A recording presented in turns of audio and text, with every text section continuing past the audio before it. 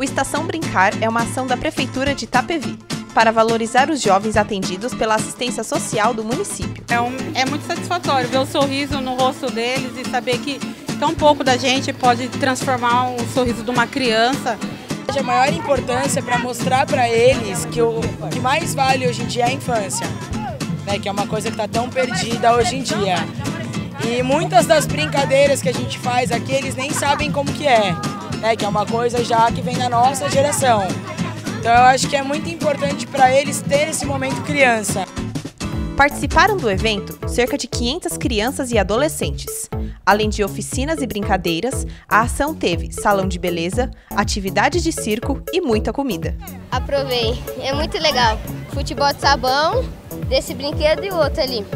Aí eu gostei e aprovei. Eu já vim aqui uma vez dia do Papai Noel, mas não tinha esses brinquedos, só tinha outros.